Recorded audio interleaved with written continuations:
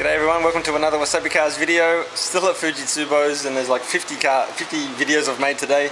And uh, here's one I really like for a couple of different reasons. It's a three-wheel truck. That's one reason. It's very interesting, that's another reason. And one reason is here. Though it doesn't show very well at all. That's actually the main tower of Osaka Castle. And uh, for those of you who don't know, Google uh, Japanese Castle Explorer. You'll see my head and my website, my website, and lots of Japanese castles. Whoa! It's had a hard life. It continues to have a hard life. But it's still being a truck and getting stuff thrown in the back.